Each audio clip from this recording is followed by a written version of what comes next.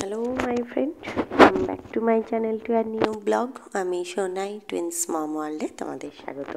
তো আজ আবার আমি সকাল থেকেই আমার ব্লগটা শুরু করছি। আজকে হচ্ছে শনিবার। তো আজকে মোটামুটি শনিবার, এসে আনার স্কুল নেই প্রত্যেক দিনকার নিত্য নৈমিত্তিক কোনো রকম কাজগুলো নেই। আজকে কাজের বাইরে একটা অকাজ আছে। অকাজ মানে এসে আনা বাড়িতে থাকলেই তো ধরুন সারা দিন ওদের পিছনে চিৎকার, চেঁচামেচি করতেই সময় চলে যায়। আর সব কাজেই আমি করব আমি করব, আমি জানি, আমি পারি। এই করতেই ওদের অনেকটাই সময় পেরিয়ে যায়। আর শনিবার মানেই একটু বেশি পরিমাণ ওয়াশিং মেশিন চালানো, একটু ভালো ভালো খাবার দাবার খাওয়া, আর সারা সপ্তাহের ময়লা যত আছে সব পরিষ্কার করা। এই নিয়ে অলরেডি দুবার আমার ওয়াশিং মেশিনটা চলছে। এর আগে একটা রাউন্ড এই যে ঘুরিয়ে নিয়েছি, এই যে স্কুলের জামা কাপড় মোজা, তারপরে ভেতরে পড়ার জিনিসপত্র, তারপরে সারা সপ্তাহের যা কিছু নোংরা, এটা একটা রাউন্ড আর একটা রাউন্ডে আমি দিই মোটামুটি বেডশিটের যে জিনিসপত্রগুলো থাকে, যেমন বেড কভার আপনার পিলো কভার বা বেড সংক্রান্ত যে জিনিসগুলো থাকে সেগুলো। আমি দেখেছি, যদি বেড কভারের সাথে আপনি বাড়ির কোনো জিনিস দিয়ে দেন মানে ধরুন ড্রেস বা স্কুল ড্রেস সেক্ষেত্রে হয়তো ময়লাটা অতটা ভালোভাবে ছাড়ে না। তো যাই হোক, কাচাকুচিটা খুব সকালবেলাতেই চালিয়ে দিয়েছিলাম, কারণ ওয়াশিং মেশিনটা চলতেও তো অনেকটা সময় লেগে যায়, চল্লিশ পঁয়তাল্লিশ মিনিট লেগে যায়। তো ওকে যদি সকালবেলা উঠে একবার চালিয়ে দিতে পারি, রাত্রেবেলায় সেট করে রেখে, তাহলে অনেকটাই টাইম সেভিং হয়ে থাকে। তো আজকে তো কলকাতাতে ভোট। কলকাতা মানে পশ্চিমবঙ্গে মোটামুটি পঞ্চায়েত ভোট, এটা তো সকলেই জানেন। তো এবারে আমরা ভেবেছিলাম বাড়ি যাব পঞ্চায়েত ভোটে। প্রত্যেক বছরই আমরা বাড়ি যাই, কিন্তু এবছরেও আমরা ভেবেছিলাম বাড়ি যাব। তো এদিকে বানিয়ে নিচ্ছি চিকেন এই যো প্রথমেই শুরুতে বললাম না যে সারা দিন বলবে সব কিছুই আমি পারি সব কিছুই আমি করব। এই দেখুন, আমি পেঁয়াজ কাটছি আর ও চলে এসেছে পেঁয়াজ ছাড়াতে। এই করতে গিয়ে দেখবেন হয়তো বাটিটাই দেবে উল্টে, সেখানে আবার চার মিনিট কাজের বাড়া করে দেবে। আমি সেই জন্যই ওকে বললাম যে দেখ তোকে এটা করতে হবে না, তুই এটা পারবি না, তুই বাইরে গিয়ে এনার সাথে কর। ও সেটা শুনবে না, ও আমার কথা তো মোটেই শুনবে না, এই দেখুন, ও এখন দাঁড়িয়ে দাঁড়িয়ে পেঁয়াজ ছাড়াচ্ছে। পেঁয়াজ ছাড়াতে ছাড়াতে দেখবেন বাটিটা দিল উল্টে, আবার বাটিটা নিজের কাছে টেনেও নিল। তো এই সব করতে করতেই সারা দিন সময় পেরিয়ে যায়, কখন যে ভিডিও বললাম না, যা বললাম তাই হলো, গেল পেঁয়াজে বাটিটা উল্টে। তো তারপর আমি ওকে বললাম, তুই যখন উল্টেছিস তাহলে তুই ওটাকে ঠিক কর। তো ওই জন্য ও আবার একটু গুছিয়ে দিল আর আমি খানিকটা ওকে হেল্প করলাম। তো যাই হোক, ওকে আবার একটু সাহায্য করি তার ক্যামেরাটা আগে অফ করি। তো যাই হোক, কাজকর্মগুলো মোটামুটি হয়ে গেছে। মাংসটা চাপিয়ে আপনাদেরকে বলি। তো পঞ্চায়েত ভোটে আমাদের, আমি কলকাতাতে যেখানে এখন থাকি, সেই জায়গাটাও পঞ্চায়েতেরই এলাকায় এবং আমার শ্বশুর বাড়িটিও পঞ্চায়েত এলাকায়। বর্ধমানটা অবশ্য পঞ্চায়েত নয়, পৌরসভা।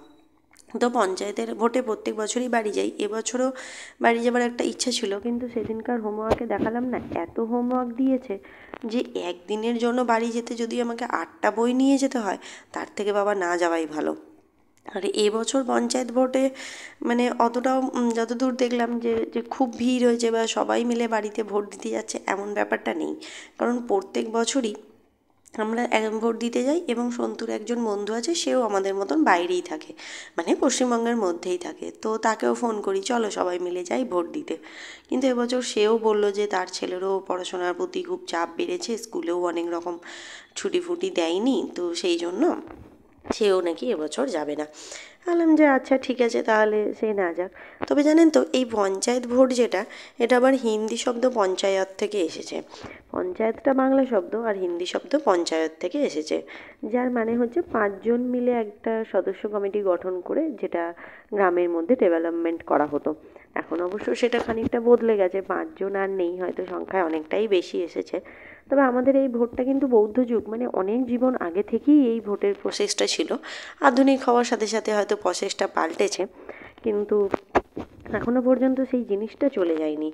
তো যাই হোক, এই হচ্ছে পঞ্চায়েত ভোট। তো পঞ্চায়েত ভোটেতে আমরা বাড়ি যাইনি, তার কারণটা ওটাই। বাড়ি থেকেও অনেকবার ফোন করছিল। আগের বারে যখন পঞ্চায়েত ভোট হয়েছিল মানে আজ থেকে দু বছর আগে, তখন আমরা কিন্তু বাড়ি গিয়েছিলাম। তার কারণটা হচ্ছে এটাই যে বাড়িতে যেতে ভালোই লাগে, আর তখন এসে না স্কুলেরও কোনো ব্যাপার ছিল না।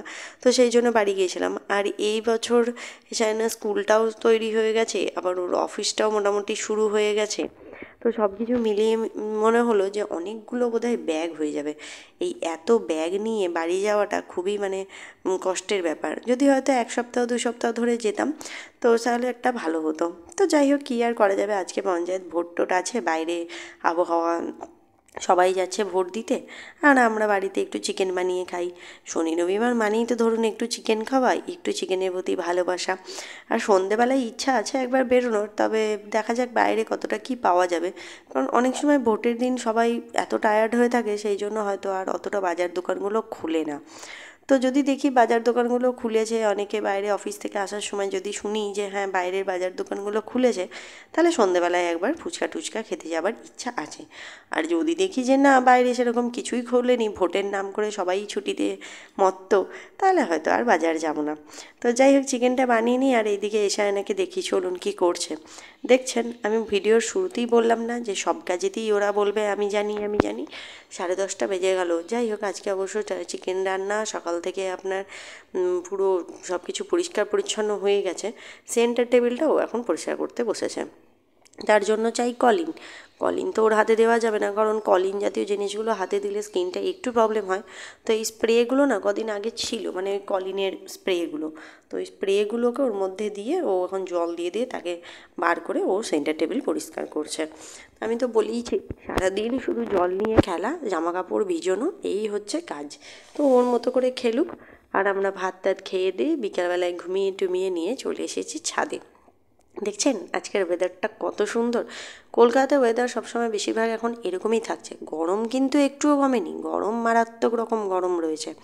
আর এদিকে এনাকে একটা ঘুরিয়ে উড়িয়ে হাতে ধরিয়ে দিয়েছি, একবার এসা ধরছে আর একবার এনা। এই দেখুন, বলেছি ধরে চুপ করে দাঁড়িয়ে থাকবি। যতক্ষণ ঘুড়িটা আকাশে উঠবে ও যদি ততক্ষণও ধরে দাঁড়িয়ে থাকে তাহলেও মনটা শান্তি যে যাক, মেয়েটা কিছুক্ষণ হলেও ঘুড়িটা ওড়াতে শিখেছে বা একটু দাঁড়িয়ে আছে। আর ঘুড়িটাও উঠছে কিন্তু বেশ, খুব সুন্দর ওপর আকাশে হাওয়া দিচ্ছে, ফুরফুর ফুরফুর করে। আর এত সুন্দর, আর আমাদের অ্যাপার্টমেন্টের অনেকেই আছে ছাদেতে ঘোরাঘুরি করছে। আর আমিও এইদিকে এশা এনাকে নিয়ে দাঁড়িয়ে আছি। এশার হয়ে গেছে, এনা বারবার করে গিয়ে বলছে, মা, আমি আমাকে একবার ধরতে দাও, মা, আমাকে একবার ধরতে দাও। তো আমিও ওটাই বলছি, দাঁড়া, এশা কিছুক্ষণ করুক। দেখছেন দেখছেন কেমন ঘোরাচ্ছে হাতটা? ওই দেখুন, একবার ওঠাচ্ছে, একবার নামাচ্ছে। ওকে বলেছি, তুই শক্ত করে ধরে থাকবি। যদি লুজ হয়ে যায়, ঘুড়ি দেখবি, তোকে ছেড়ে পালিয়ে যাবে। এই দেখুন, এ নাও করছে। যেমন এসা করেছিল, ঠিক তেমনই। তো যাই হোক, এই ছোটোখাটো জিনিসপত্রগুলোকে নিয়ে তো আমরাও ছোটোবেলায় খুব খেলা করতাম, তো ওই জন্য ওদেরকেও বললাম, তোরাও এটা নিয়ে একটু খেল। অবশ্য ধীরে ধীরে এইগুলো উঠেই যাচ্ছে। তাও মাঝে সাঝে এগুলো হলে কিন্তু মন্দ হয় না। ওরা এগুলো নিয়ে ব্যস্ত থাকুক, আর ওই যে ওদের বন্ধু, সেও একটু ধরেছে। মানে সবাই মিলে একটা ঘুড়ির পিছনে পুরো একদম যেন মানে সারা দিন কাটিয়ে ফেলল। তো যাই হোক, আজকের ভিডিওটা আমি এখানেই শেষ করছি। বিকেলবেলায় আর কোথাওই বেরোইনি ভোটের জন্য। আবার কালকে আসব নতুন একটি ব্লগ নিয়ে।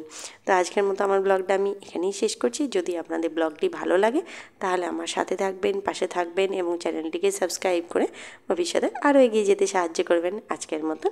Bye bye. Good night.